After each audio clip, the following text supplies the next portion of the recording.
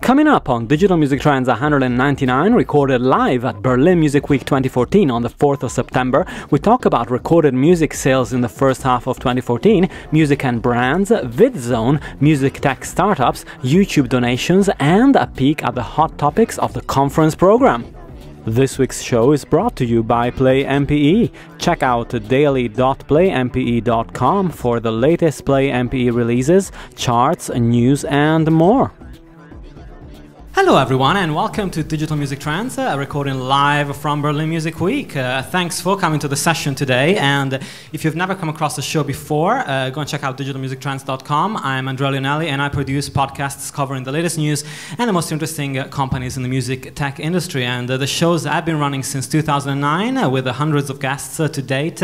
and I'm joined today actually by four new guests that have never been on the show before, so that's super exciting. And thanks so much for joining me today. And we start with uh, Janine uh, Wuelker from uh, Finetunes. And uh, Janine, I wanted to ask you briefly uh, what, uh, what you do at Finetunes and what Finetunes is about in about 30 seconds. Yeah. Okay, 30 seconds starting now. Finetunes is a digital distributor from the independent um, world and um, we are uh, working with about like 3,500 labels internationally right now, um, covering all digital distribution services. And my job is the strategic marketing. So I'm there for creating strategic cooperations with magazines, media partners, and as well I'm covering the sales marketing for the French market. Great.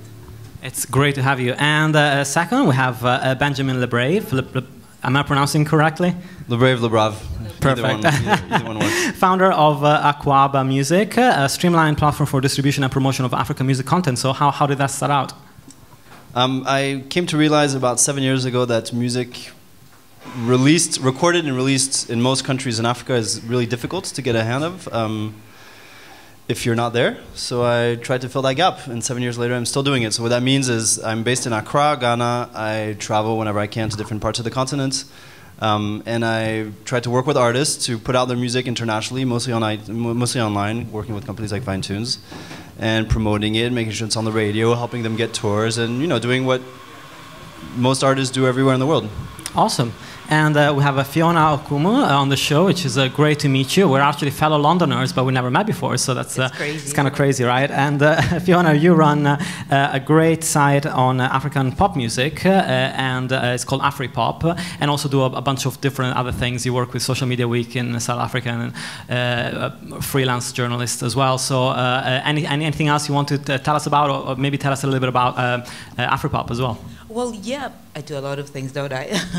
yeah, so um, I at at uh, AfriPop magazine, which is as the name implies, it's a global popular culture, well, global African music and popular culture site.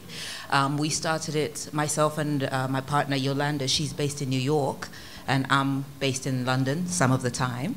Um, and so we got together and we just thought, you know, we were looking online and we never really saw um, magazines that reflected the reality of being uh, an African person in all these big cosmopolitan spaces, places like New York, like London, like Berlin, you know, just no places that were fun and just kind of reflecting what we were doing in fashion, in film, in music. So we just decided to start a blog between the two of us. And then since then, we've kind of grown to a team of about eight Wow, that's fantastic. Uh, from the continent and in the diaspora.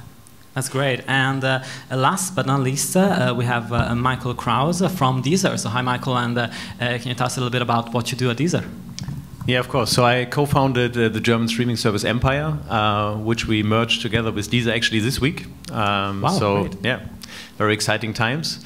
Uh, Deezer is the uh, largest uh, music streaming provider, music streaming service uh, in terms of paid music streaming when it comes to coverage. So we're in 180 countries. Um, we have the largest catalog, and uh, in terms of subscribers, also are the second largest. Um, and I'm heading up the GSA team, so uh, the German-speaking territories. Yes, uh, Germany, Switzerland, and uh, uh um, Austria. Austria. For forget Austria. For those that are home and uh, might not know what GSA is, and uh, so I wanted to start today by talking about some of the figures that have transpired in the past few weeks when it comes to recorded music sales in the first half of 2014. So in the USA, we've seen the lowest recorded music recorded um, album sales to date. Uh, so unfortunately, we've seen a uh, Nielsen SoundScan released the figures uh, in the past few days uh, talking about that, and they said that it's the first time ever that album sales fell below the 4 million units uh, sold in a week uh, number. Uh, so this unfortunately feels like a bit more of a pattern than just a little blip. and for example, the first eight weeks of Q3, third quarter of 2014, the sales in the USA have been have seen a weekly average decrease by half a million units over the first quarter of last year. So a pretty uh, broad uh, decrease in sales uh, across the board there.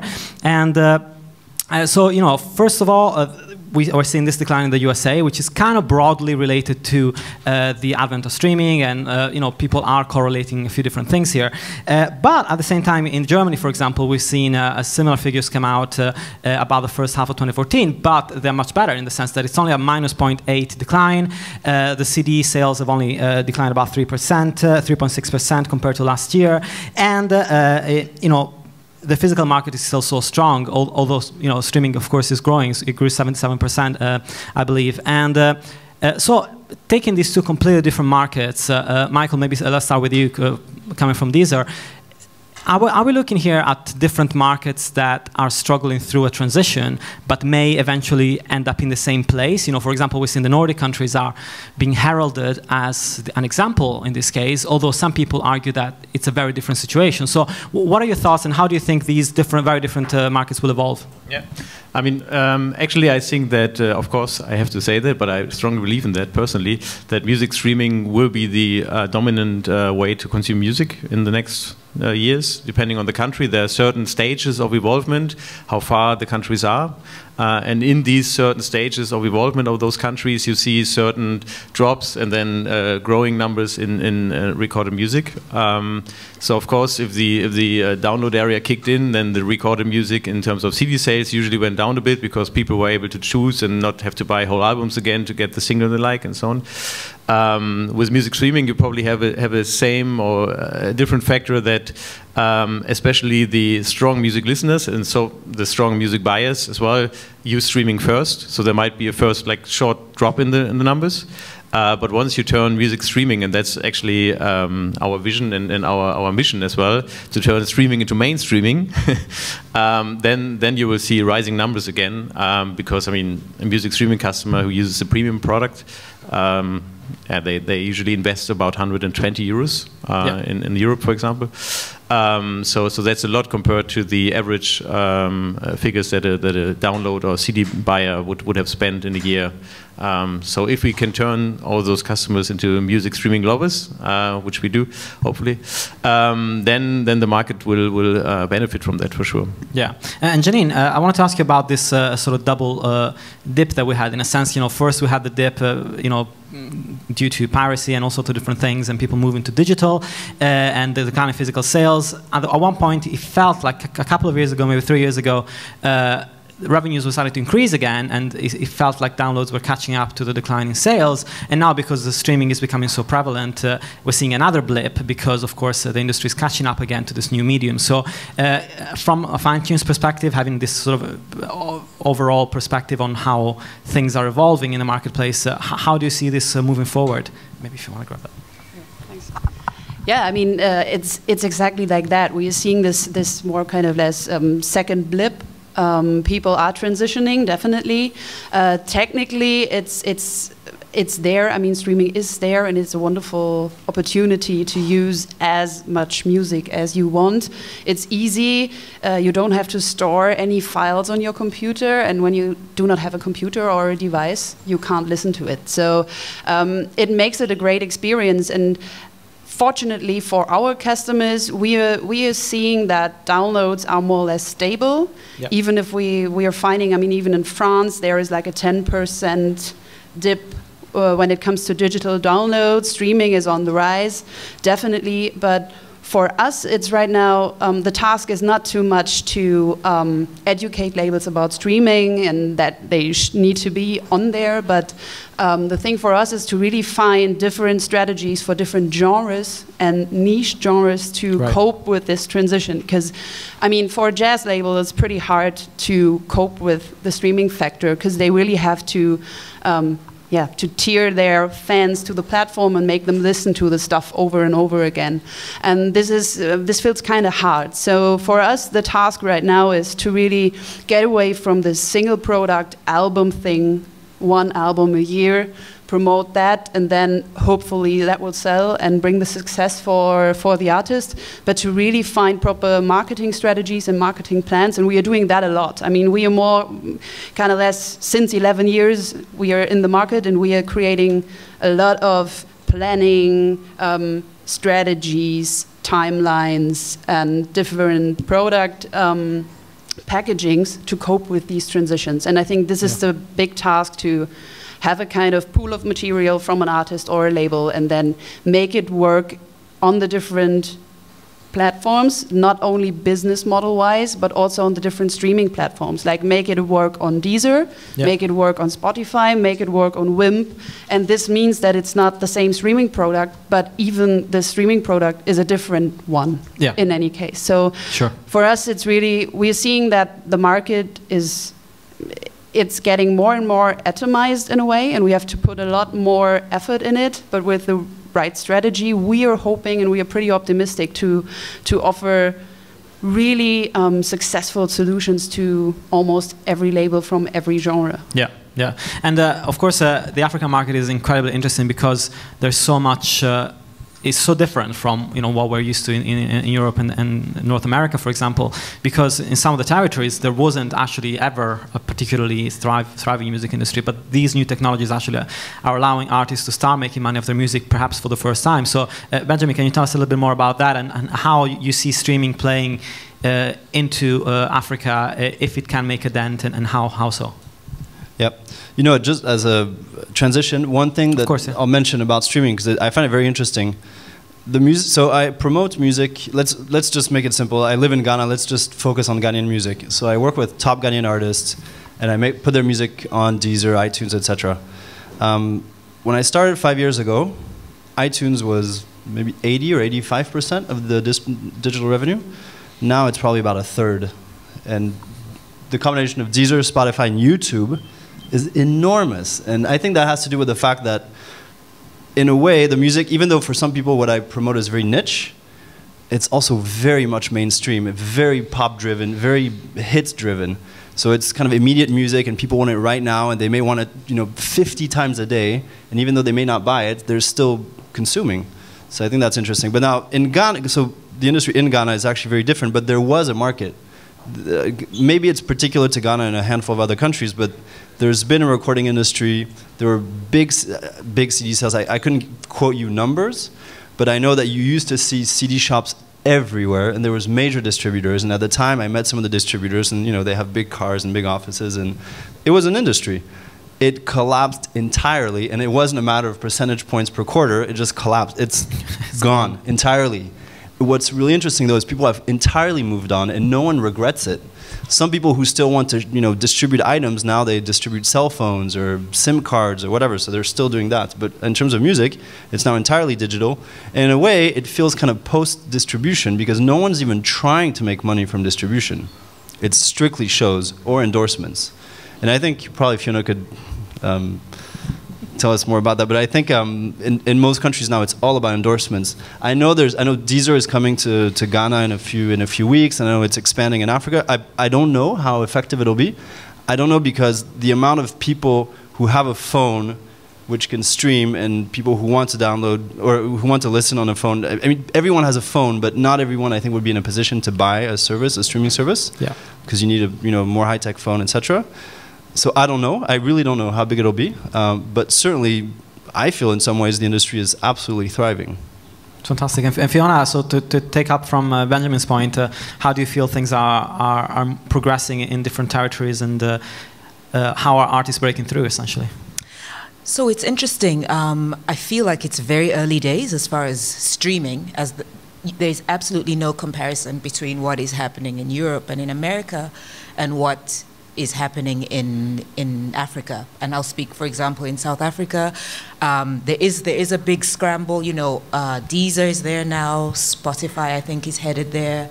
Uh, Simfy is there. So all of them are headed there. But I think everyone is still really just trying to figure it out because, um, you know, things like broadband penetration is very low in Africa. Streaming costs are still extremely high. So, you know, for those kinds of companies to make it in Africa, they're just going to need to figure out a different model. I think the service providers are going to have to come in with a different way to charge people for yeah. data, for things like that, in order for it to be a success. Um, and like, uh, like Benjamin said, it's very much about the endorsement deal for uh, a lot of the African artists. I, for one, I mean, in South Africa, yes, there was a time when, you know, your biggest selling artist would sell 100,000 copies. That's a big number for, for, um, for the industry. And that's for, you know, as you, you know this as well, like piracy is quite rife in, in, in Africa. Um, and so, yeah, so it does feel like, in a way, the streaming and the, and the mobile phone options are a little bit more they address the issue of piracy yeah. more than what used to happen with CDs. Because I feel like there, in as much as artists sold, there was a lot more that they could have made um, in sales and, and, and, stuff like that. Absolutely. And I love how we managed to go from talking about declining album sales in the US to talking about digital music in Ghana here. but, that's how it works. And, uh, so moving on to talking about one of the hot topics uh, here at Berlin Music Week, actually, is quite a good segue uh, to talk about discoverability. And so uh, more than, I don't want to talk about discovery from the user perspective, because I'm sure everybody has probably read and heard so much about that. But I want to talk about discoverability from the perspective of the artists. And so, uh, you know, with millions of new tracks coming out every day, editorial, you know, room on services is very scant uh, at, at, the moment, uh, and we're not there yet in terms of you know services really being able to successfully recommend niche artists to niche audiences and identifying those kind of things. So, uh, Benjamin, maybe starting with you, you know, you were talking about the fact that you still have big hits, but you know, of course, catering to a fairly specific market. So, how do you push them through in, in services like Spotify, for example, or Deezer? The honest answer would be I don't know, but I'll try to give you more. Um, it's a struggle. I mean, every day I ask myself, and I've been doing it now for five years, and with every I put out about 50 releases. With every release, I ask myself, who am I going to target? Who's interested in this?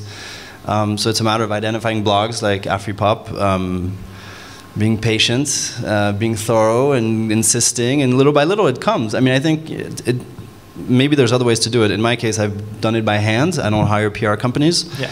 It takes time, but eventually, I feel once you actually do identify an audience, or even just a blog, there could be a really strong connection. Because once people's like, ah, okay, so what you send me makes sense, fine, and then you have this privileged relationship. But I haven't found any miracle solution. For me, it's work. And that's really interesting what you're saying because uh, some people, you know, are perceiving services as, uh, you know, the, the start and end point of, of a journey for listeners, whilst, you know, what you're saying is that listeners actually find out about the music elsewhere and then use the services as a tool to consume the music, which is quite a different thing. So, Janini, in your experience, uh, you know, of course, there's the usual hustle and bustle of calling up services and saying, "Oh, could you give us a spot on mm -hmm. the new releases of this week or something like that?" Uh, but aside from that, what are the tools that you think are most effective to driving people to to streaming services and discovering new bands there? Uh, the funny thing is, uh, to a certain extent, I completely agree with Benjamin here because there is no template you could simply use. And if you're using that and if you're sticking to this and that specific timeline and communication plan, then it will work. So, this is exactly what I meant by we are trying to invest the time to check with every licensor, with every label for the highlight releases, what can we do around this release? And timing is a crucial point here because, I mean, um, when you look at when you need to start to plan campaigns and plan strategies so what you're going to do then half a year is not is nothing pretty much.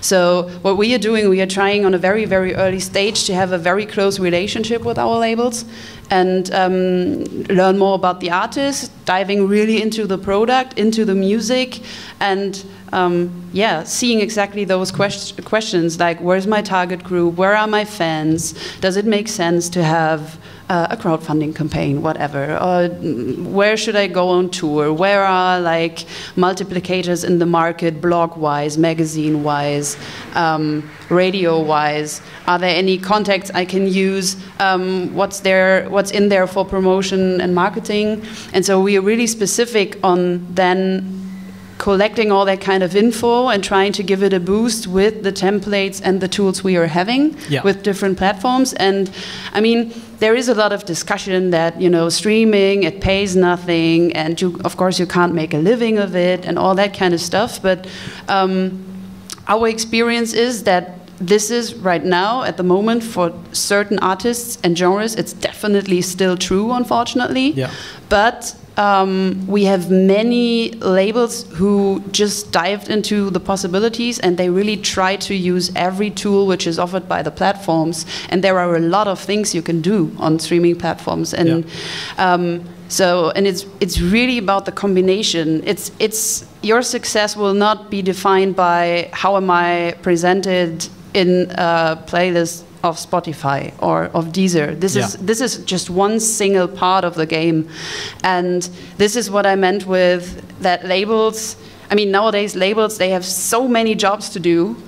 it's it's really like it's a complete business, and then you have the whole creative part, which of course needs to be covered and wants to be covered. So we're trying to be a partner who invests a lot of time, first of all, and then also tries to think about advances and where we can help. Yeah. But it's really about time diving in the music so we, we are not and that's the funny part it's not this business anymore where you just get copies of music, you see, oh well, it's uh, pop, oh it sells, it sells. Yeah. So you really have to work with the music again. Maybe that's a kind of aspect which is a good thing, although right now it's a pretty shaky situation in the market. Sure. Sure, but sure.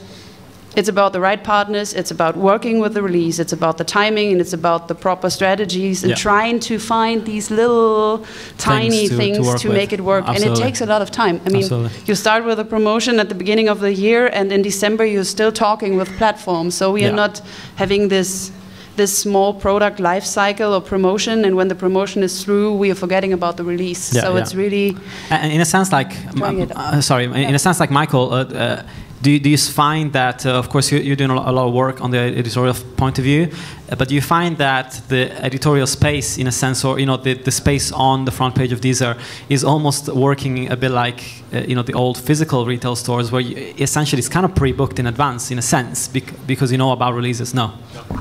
I mean, that's a very thankful question for us, actually, because Deezer works in a way that we have editors in all the countries, uh, yeah. in most of the countries.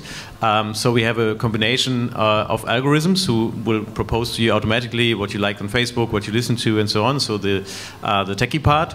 But then you have the human factor, like really editors looking at certain clusters. So not what's in the charts all the time, but looking at clusters, for example, those three customers to listen to those four jazz music arti artists. So then Janina comes along with a new jazz music artist that's the same, then they will have that in their feed. So not like what's in the charts, but really what uh, the editors picked for that kind of cluster. And looking for opportunities within, within Deezer to promote artists, um, there, are, there are many things. Uh, first of all, we have a great CRM pro, uh, um, great uh, CRM possibilities, so we can target via email or in the feed um, on, a, on a very detailed level. Like for example, you can send an email to all those customers who listen to those three tracks. If you think that the new track or the new album that's coming out is matching that. Um, or other like things that, that are not used so often but are very very effective um, are playlists. So if your artist creates a playlist of the songs he likes best, um, then you will get a, a lot of visibility, um, and you can also promote. If, if you also like then integrate songs from, from your label, you can also promote new artists or those those artists like those famous artists can promote um, and endorse actually the, the younger and, and new artists. Yeah. So I, I can like continue for half an hour to explain. There's so many possibilities. Yes, so absolutely. I, encourage labels and and uh, and also uh, even even artist managements to just look at, at the possibilities and, and then work with that because there's so many possibilities that is not about the charts. It's not about the, the physical sales charts that, yeah. that are going well. Yeah. Uh, Phiona, you talk to artists uh, probably on a daily basis uh, uh, because of the blog, and so how are they looking at the streaming services? Are, are they looking at you as the place that is going to help them reach the audience and then the audience is just going to go to the streaming service by default or are they actually you know uh, concerned about their positioning on the platforms themselves. So just to just to add on on Michael's point about the human factor, I think you can't emphasize that part of promotion um, enough. So, for example, I I do a playlist for a service called 22 Tracks. I don't know if you guys Yeah. know it. Um, and what it does is essentially it picks the tastemakers in different scenes and it gets them to select what's hot. And what I specifically do is I do a mix of what's hot in terms of the charts, but also what's hot in terms of what's coming up. So I think a very useful strategy for um, for labels, for artists, is to actually make sure you know the people who are the influencers in in the culture. I think that I think word of mouth is one of the more kind of organic and the more believable ways that the music can grow. And then, um, so our artists coming to, to us to break their music all the time, all the time. And I think that, you know, you have to, you can't play everybody. We do a, what we call a filtering service. So what we put on AfriPop is what we think is the best or what deserves an, an ear. Um, other, other sites do everything. They'll put everything on, and you kind of just hope for the best and get on there. But we kind of position ourselves as curators so that when labels come to us, they know exactly what the service is that we can offer them and artists and, and everyone else. Yeah, I wanted to take uh, uh, sort of jump onto a new story, but sort of stay you know, on a similar theme because uh, uh, yesterday, for example, uh, CD Baby announced uh, the release of a CD Baby free service where artists can go and, and upload their music for free, essentially, to all the different services, but they're going to give a 15% commission on the sales to CD Baby, which is higher than what they would usually charge. So I was interested in this sort of vein because that's not the only company that's done something like this. There's other companies that have sort of done free distribution deals, uh, and it's interesting because it lowers the barriers of access in an interesting way for countries, certain countries in Africa, for example, where a $50 upfront fee would not be feasible for people to, to, to be able to pay, or you know, even even just access to credit cards is, is restricted, and so uh, people wouldn't be able to just pay by credit card for distributing their music on, on, on a worldwide basis. So, uh, Benjamin, do you think that might have an effect, uh, this lowering of the barriers for worldwide distribution on who releases what, and maybe open access to more people, to, to, to, to more markets? I can't help but wear my label hat and say probably it'll just crowd the market with even more crap that I wish were not in the stores. But Right. with that said, maybe there's some good stuff. Uh, but in the case of Africa, I think the, the difficulty you said it's more the credit cards than the money. There's maybe this misconception that artists in Africa are broke and that it's not true. The money they invest, even a small-time artist, the money they invest in studio time, etc., in radio, payola, all that stuff is huge.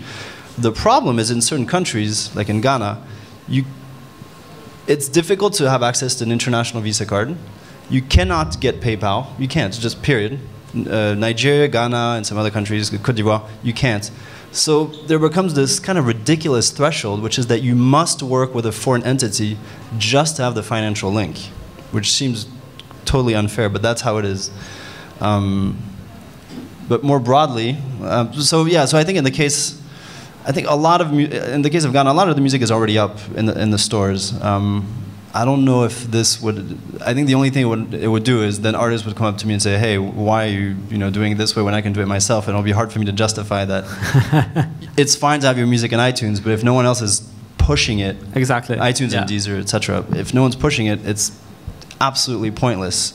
And then it makes, and as I started saying, I think then it makes our jobs more difficult because we're trying to Yeah. push what we think is relevant content, and you know, um, there's just more, more, more uh, gray matter out there. just to add on to what Benjamin is saying, online and you know I'm I'm very you know hands-on in terms of online promotion and stuff, but in Africa and I'm speaking of Africa in a homogeneous pan-African sense, even though the markets are different from region to region, but traditional media still plays a very big part in how music is promoted, how it's distributed. So MTV and Channel O and Trace TV, you know, the big music channels are a big part of kind of carrying the music down the distribution line, the promotion and stuff. So you can't ignore that sorry about that. You can't really ignore that part of, in as much as you can employ an online or a digital strategy, you must be aware that that is, you still need radio, you still need TV, you need all of them. Yeah, absolutely. And I sort of I'm going to fuse two stories together here because uh, uh, time is running very quickly. I'm like, whoa, it's the time already. So uh, another thing that I wanted to talk about was uh, uh, the uh, release of a new feature by. Um, uh, this is my jam, which is a startup based in London, uh, which came out uh, of the Echo Nest. if anybody's familiar with the Echo Nest, this is my jam is essentially a service that uh, uh, allows users to pick one song that they want to listen to, uh, you know, that, that is their favorite track for that day or that week or that month, and essentially that allows them to build a history of all the tracks that they've favorited over, over the last few years. I don't know if anybody's used This Is My Jam here before? No? No. Okay, so uh, they've released uh, a essentially a catalog of the half a million tracks that uh, were favorited by somebody somewhere at some point on the service. And for them, this is sort of like a, a, a distillation of the millions and millions of tracks that are available on services like Deezer, uh, and a way for people to navigate that catalog a little bit better, perhaps you know by providing also some genre classification in the future and playlisting and stuff. So, uh, Michael, we're talking about you know CD Baby, the fact that there might be even more artists coming on board because they don't even need to put the money up front to put the release up and on the other hand, seeing a service like this is my jam, creating a half a million tracks, this is what you need to listen to because people have chosen it as their track for a particular moment. How do you see those two things coming together, and how do you feel it is going to come together on Deezer? Yeah, I mean, first of all, I believe strongly in a kind of democratic approach to music. So whoever produces music should have the right to have an audience for that, if it's through live shows or if it's through Deezer. Um, actually, uh, we don't judge what's crap and what's not crap. And if someone finds an audience for, for, for the, these songs and promotes it by himself, uh, we, are happy. Uh, if, if music makes people happy, we're happy. Um, so so we, we, are we are open to all these kind of initiatives like CD Baby and so on. Um, in in terms of those highlighting songs, I, this is a, also a social approach, right? So what you like on Facebook, it will, it will show up there. Um, I, I, have a, have a bit. Um, different different view on that. So I think music is very personal as well to a certain extent. So I don't want to all, all the time post on Facebook or show whatever I'm listening because sometimes it's really intimate and, and very very personal. And I won't have the, the possibility, of course, to share with my friends. And, and these are, for example, opening a lot of possibilities to to also uh, follow your friends and so on. But you can always select what you want to share. And I guess that's that's very important. And and if that new initiative is something where you you openly share things that you like and other people can follow that and, and listen to that. I think it's a nice idea, um, but I, am not into all these things where automatic sharing. No, that's no, that's very much. You have to go on the site and you have to choose a track. It, it's not done automatically. Yeah. So yeah. Yeah, yeah, yeah I, I, saw it. So yeah, it's it's it's okay. I mean, uh, yeah. Uh, oh. It's gonna be interesting. that, yeah. Uh, people can like uh, songs and so on, on on Deezer as well, and they have yeah. all the variety of the 30 uh, million songs. So so I rather go there, but it's it's up to everyone to decide where they consume their music. So um, yeah. And of course, it's all uh, available on APIs so I guess. Of course, yeah. You can, can also. Can be we are the hackathon tomorrow, so all the 30 million tracks are available. So anyone has a good idea, like like any startup, we're open to cooperate and, yeah. and also have all these in-apps where in the service we'll also feature it. Yeah, uh, Janine, uh, let's pick up on, on this conversation around sort of mass of music uh, here and sort of more curated uh, restricted catalog here. You know, how, how do you see this uh, evolving? This uh, sort of uh, tension between uh, a huge marketplace and a much smaller one. Yeah, I mean, combining these two worlds in a way is a part of our job. I find yeah. it kind of funny that everyone is seeing this new CD baby thing as cheap because it isn't. Yeah. I mean, ask a proper digital distributor about his contracts and all the ones, I mean, all the ones I know in the German market, whether it's New Media, whether it's Believe, whether it's Zebralution, whether it's Finetunes, it's not about 50-50 share, it's about 80-20 share. And you don't have a very, very small, like three euros or even less setup fee for a release. And the best is you're getting the sales marketing for free. Hooray! So why not ask um, distributors who are out there. And yeah, yeah, they might seem big and international firms, but we're really listening to every submission we are getting. Um, we have labels that have two albums out since five years. We have labels with a catalog of over like 5,000 releases. And it's not about catalog size, it's not about genres, it's about the music, it's about how passionate someone is. If he wants to work on his stuff, then we are up for trying to see what we can do to support that in whichever way, which also um, is um, recommendations. I mean, yeah. I totally agree um, with you that the thing is very personal. So my recommendations, for example, um, are coming from my favorite record store where I'm buying my vinyls. It's coming from Accelerator or 22 Tracks. It's coming from Gilles Peterson websites. It's coming from uh, Hypebot or Hypetrack. It's coming from magazines and online blogs. And there is not the one way to discover music. I mean, you're talking yeah. with your friends about something. For me, still, recommendation algorithms like Spotify, they're not going to work until now because I'm a huge jazz fan, and if I'm listening to Freddie Hubbard, and then he's, the services are telling me, well, why not check out the new album by Freddie Hubbard? And you know, there is no new album since, yeah. obviously. So this is still shaky. So I love to ask um, someone in, in person, or I check out a blog, the Jazz Thing blog, or whatever. Sure. So what I want to say is that it's a combination of many different things where you get your recommendations from. And if this this is my jam works to a certain extent, to a certain part, and afterwards you maybe go on Deezer and create your own playlist because you yeah. really like what you heard there. Why not? Yeah, I mean, absolutely. we'll see. And I, I think uh, you know we're running out of time, unfortunately, already. But uh, one thing that I want to touch upon was uh, talking about transparency. So I think if there's any artists in the room here, uh, you'll probably be aware of uh, all the issues that have been around in the last uh, sort of 18 to 24 months around uh, transparency and fairness in digital music. So we heard complaints the, from the independent community over YouTube's tactics in the licensing. We talked about the question marks around whether some, some of the value generated by digital music services is locked in by majors before the pie shared with independents. Uh, I know that uh, uh, Merlin had uh, spoken about this a few months back. and you know, we also talked about how reporting is still a big issue. I don't know if there's any labels, labels in the room, but uh, you know that the microtransactional aspect of streaming means that the reports are still huge, very difficult to ingest and very difficult to audit as well, in a sense. So, uh, you know.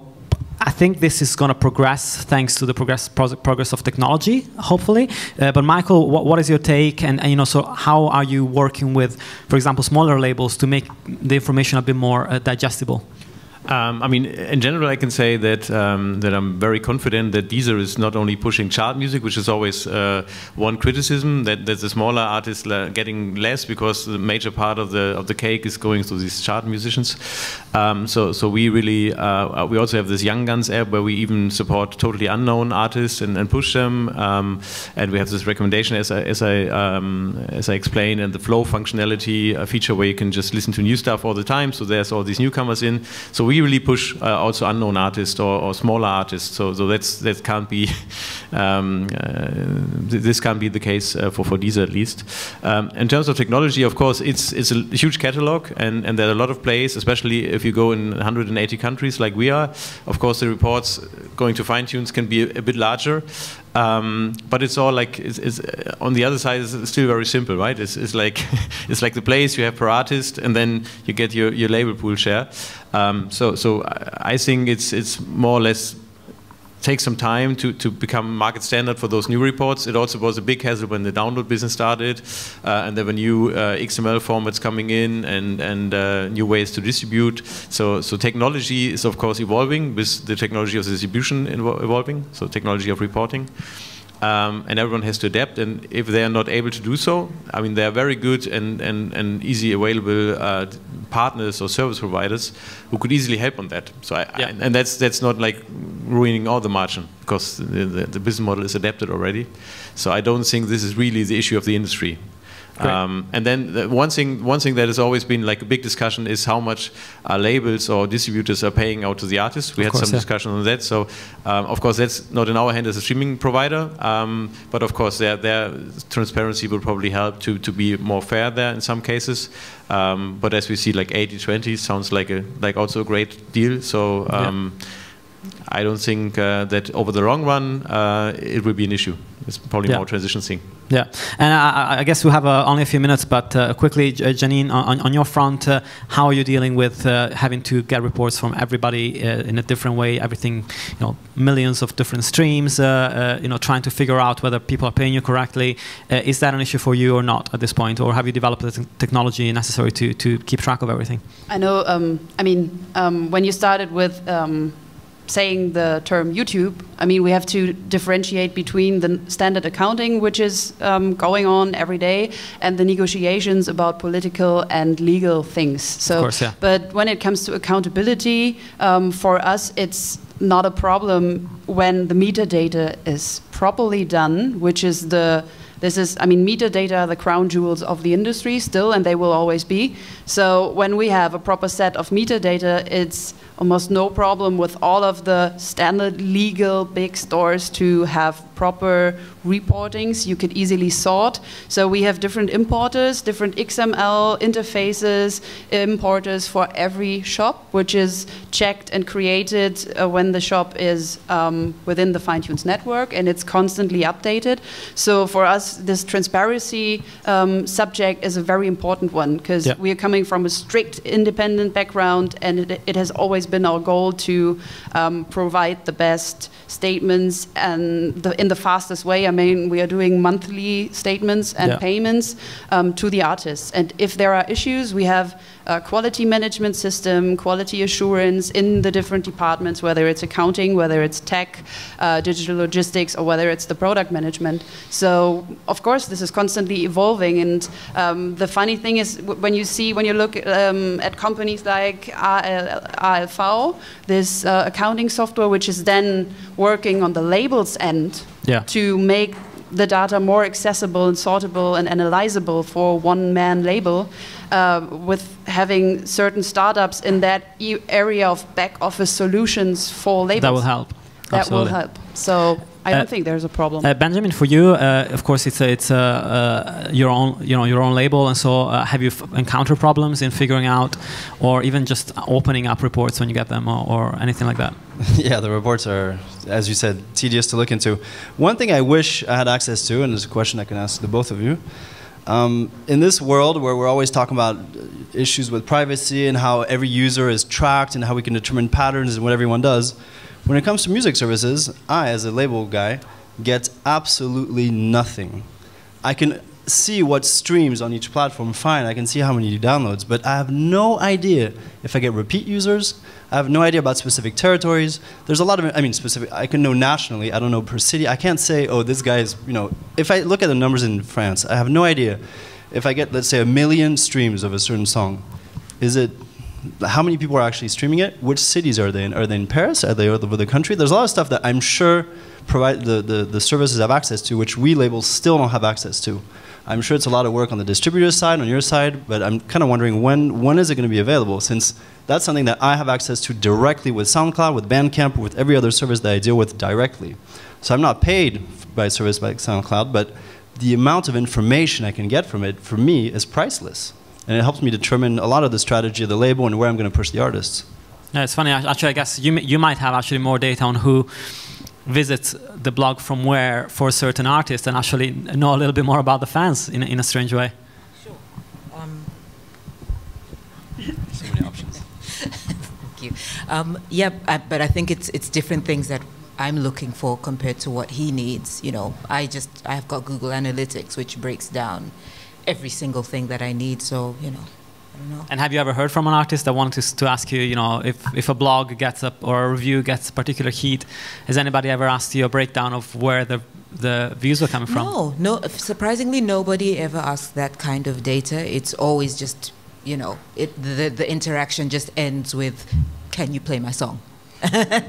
That's interesting because, Yeah. like, I guess if the one person came, you might actually be able to give them the data pretty easily. That's so- right. That's right. That's right. Blogs would have that. That's interesting. information. I know. I mean, I, I also have analytics on my own site, and I could ask blogs individually. But in terms of trends for sales or for Yeah, actually absolutely, paying yeah, yeah. services, No, I know what you I have no idea. You know, and I could ask Phiona which you know if there's a link to iTunes, what kind of you know how many users go there, etc. But still, the it's very it's, it's one dot in an ocean. Yeah, I, I mean, Pandora has been promising a service that will break down uh, where people are playing music for, for years now. Hopefully, that's coming fairly soon. Uh, I know you know these are working so much on the data that I, I, wouldn't I would imagine something like that is, is probably in the works. Yeah, I mean it's, it's it, it, first of all a very good sign that you're interested in those data because it seems that you're like data data driven and that's probably the way to go on, on streaming services as well. Uh, so actually, of course, we, we have a lot of data. Some are personal data, which we of course can't can't give away. We're very very uh, strict on on the, the personality of the data, but there's of course data that can be shared, which is kind of then then neutral. Um, and we're always always happy to, to discuss with uh, with labels to see okay what can we take out of the data, what can we learn together out of that, uh, and how does it help to, for example, create new campaigns and so on. So we work very data driven and happy to share that. Yeah. Absolutely, that's, that's fantastic. And uh, uh, one last thing I wanted to talk about, I guess, uh, uh let's talk a little bit about startups. And uh, uh, you know, we have people from different backgrounds here, and it'd be interesting to hear your thoughts. You know, we're here in Berlin one of the European startup hubs, uh, uh, you know, home of SoundCloud and a bunch of other services. Uh, you know, Ableton started here as, as a startup, uh, essentially, uh, although it's not a startup anymore. Uh, you know, Deezer, I guess, is not technically a startup anymore. it's been around for a while. It's got quite a few hundred employees. but you know, how are you seeing? first in your respective cities and perhaps in the region that you're in, the evolution of the startup community when it comes to music? Is there a community? Are people interested in tech and music and, and if so what are they doing about it so maybe uh, uh phiona if you want to start because you might have a good overview of what's going on in london as opposed to what's going on in some of the territories that you work with uh, in, in africa as well um, well, I can mention specific startups that I'm, yeah. I'm, I'm, interested in, in how they're evolving, and um, two of them, the ones that I, I quite like, are from Kenya. Um, I don't know if you know much about what's happening in, in the Kenyan tech scene, but no, it's, it's pretty much a leader in what's happening for technology in Africa. They are leading the way in terms, you know, they set, so M-Pesa, which is the way that they pay for you know, it's their mobile money system, is how they pay for everything. Um, and uh, basically, it revolutionized payment in, in Africa. So people don't really use banking as much as they use mobile payment.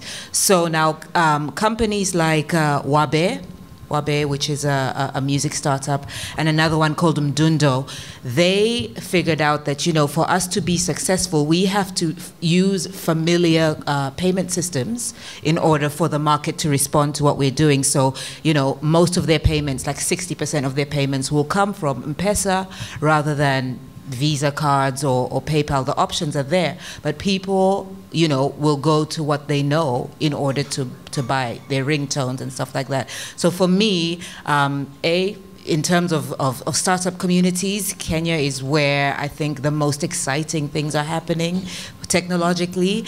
And, um, and yeah, that's, that's really it. You, what do you think?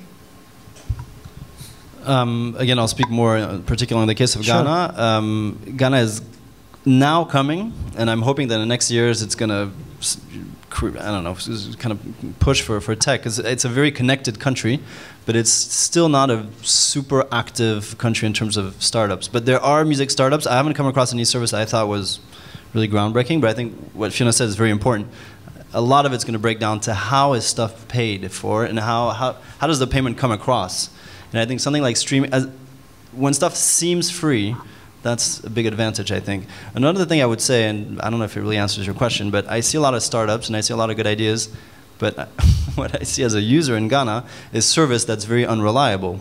So when it's difficult to make a call, probably you won't be able to stream a song. I don't know right. when, so that's, I don't know if that's going to put a lot of pressure on the providers. Um, I, I don't know how it's going to pan out, but I don't see realistically in the, in the immediate future how this kind of sophisticated service could possibly work. Yeah that's uh, fascinating. I really know very little. I need to learn more. And Michael, for, uh, of course, Deezer has a pretty extensive uh, sort of API program, and so you work with a lot of startups as well that are using Deezer uh, tracks. And so how, how have you seen that evolve? Uh, of course, you're based here in Berlin. I don't know if you've seen anything anything exciting recently here or elsewhere that you want to talk about. Yeah, there, there, are a lot of startups that we work with. As you said, we're, um, we're having the API. We're at the hackathon tomorrow. Uh, so we're very open to that, open with like uh, 50 startups already. Um, they can use us for, for the apps and just integrate the music there or integrate their services within Deezer, like 22 tracks also. It's integrated. Um, so, so we are very open to that. I see a lot of uh, exciting stuff also in the, in the crowdfunding uh, area where concerts and so on um, are getting crowdfunded. Um, I also see a lot of exciting stuff around um, the uh, kind of the, the commerce around artists, like to see, okay, what my favorite artist is wearing, what they're drinking, which instruments yeah. they use, all these kind of e-commerce uh, around artists. Uh, that's pretty exciting. Um, and, and, and there's a lot of, I mean, in Berlin, you can go around every corner and find another startup that's doing something exciting. So I probably would, would kill the time here to, to mention all of them. But uh, we're very open yeah. to working with them yeah. um, and to give them the audience. Um, and uh, yeah. Great. And, and Janine, uh, from, from where you are based, you're, you're in Hamburg, right? Uh, we're in Hamburg. Uh, and it's interesting because it's, it's, it's the music city, right, for Germany. It's like it, in terms of industry. You think? Well, That's I don't great. know. It feels like I mean, the, cool. the industry yes, side. we are, of course. Not the industry side was very much Hamburg, right? Um, it, it was, and it is. I mean, the games thing is a bit bigger, I would say. Right. The games um, branch or the games market. But uh, when it comes to startup things, I, I have to change my roles a bit right now because I'm doing a startup on my own, which is cool. currently working in the field of um, having or offering a complete back of a solution for labels and even smaller labels to reduce this administrative noise on their end. Yeah. So, and what I found, I can only talk about Hamburg right now and about my personal experiences, is that of course we are always looking up to Berlin because I mean there is a startup around every corner. You just just hear a lot of success stories, and Hamburg is not there yet, but there are a lot of networks, initiatives, roundtables, um, private um, regular meetings where you could go to, and there is a lot happening in terms of um, yeah networking, which is pretty important because Yeah. I mean. Um, I myself, I'm right now, I founded this thing alone, and I'm right now in the process of finding investors, which is pretty hard because it takes a lot of money for a software driven, very techy kind of startup. And um, it's worth a lot to know that there are roundtables you can go to, and there are people who've gone through that and who can tell you, well, ask this particular party, or why not call SAP or another big company? They have venture capital funds, so um, it's really it's evolving, and it's it's cool to have a scene which is so open to exchange ideas. Yeah, I mean, um, I was at Social Media Week uh, in March, and it was it was really great. Yeah, and it, it, it's, it's getting away from the status of being information hiders and just working in your own little garage. And um, it's it's pretty it's pretty cool to have discussions. And I think the one could help the other and uh, have recommendations. And there we are again at the point of personal recommendations. And um, yeah, so I hope we are not uh, getting only the music city of Germany, but the startup city. So we are working. Hamburg great. is uh, Will coming. evolve, yeah. That's great.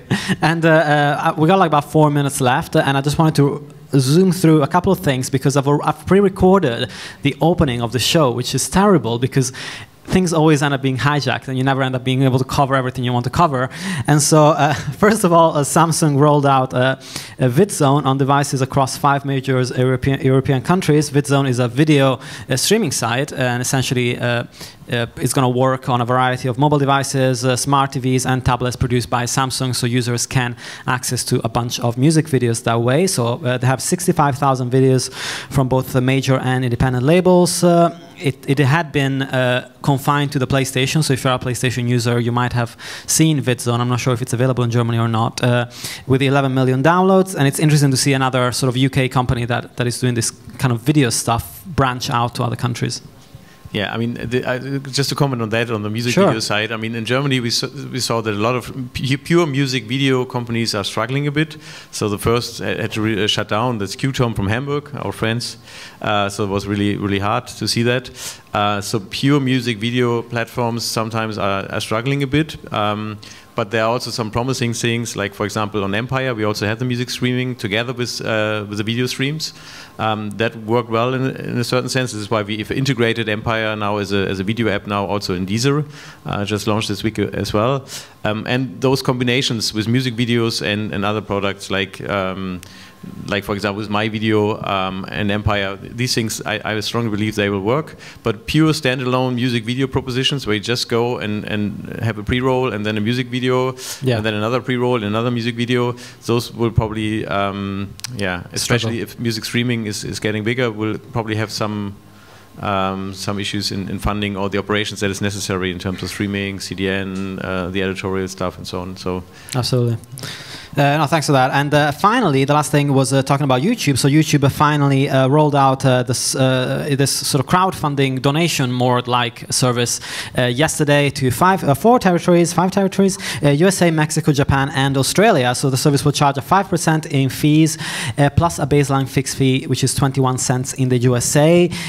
which you know, it's a donation button essentially. It's like a PayPal donation button. You can donate some money. There's no opportunity to do recurring payments. you can't ask for money for anything that's happening in the future. Uh, so it's very much a right there and then. I like this video. I want to give a little bit of money to this creator, and that's about that. So I don't think it's going to compete with Kickstarter or Patreon anytime soon. But uh, if you anybody's got a super quick comment on that, uh, or yeah, super quick comment would be that yeah, it's nice that they did it. You have to pay per uh, Google Wallet. Yeah. And you always have to see the bigger picture. That's my opinion. So what what will it do? It will um, collect more dat data from you to be able to offer you the right videos on YouTube, connect them perfectly with Google Plus and Google Play Music um, offers, and to be able to completely trace the user's behavior. So if he's interested in that or this specific crowdfunding project, what does this do to all the Google Cosmos tools which are out there? So, of yeah. course, this is the next piece of the puzzle for the bigger picture of being or having consumer data, which is simply like an all-round setup sure. of how you are behaving in the digital sense, and on the and, Google um, systems, on the especially on the Google systems, of course. And what um, can this bring for Google to drive revenues on their other services by selling products, by setting proper advertisement. So I think this is um, this, this has to be seen in the bigger context of completing the big Google strategy, Picture. which yes. we all want to know. the circle, uh, close the circle, and uh, uh, that's it. I think you know a few hours ago I got an interesting press release from Wimp, uh, who are releasing a high-quality streaming service in the UK and the US called Tidal, priced at uh, twenty dollars or twenty pounds. So I'm hoping to get somebody from Wimp uh, on the show next week, which should be fun. And that's all for this week. I would like to thank so much my panel for taking part in the show, and once again, let's recap on all your websites just so that people can find it. Of course, uh, for Michael, it's uh, Deezer.com, and from Phiona, it's uh, uh, afripop.com afripopmag.com, right? Uh, and uh, Benjamin, what's your what's your URL? akwaabamusic.com and akwaaba is not so easy to spell but google will correct it for you it's fine and i, I will i will put the links in the show notes as well when this comes out and uh, uh, janine it's uh, finetunes.com right it's finetunes.net. .net, yes. of course. Sorry again. Well, you know, at least uh, you're here to correct me, so it's good. Uh, thanks so much for coming down. It was uh, great to have you uh, here. It's kind of weird doing it live because we do it via Skype in, in a very small room usually. So uh, thanks so much for coming, and thanks for listening to the DMT uh, of this week. it comes out every week, of course. You can find it on digitalmusictrends.com. Also, remember to check the DMT one-to-one show, and this week we have a great interview with uh, Smule talking about the new artist program. thanks so much for listening. Have a fantastic week week, and uh, until next time.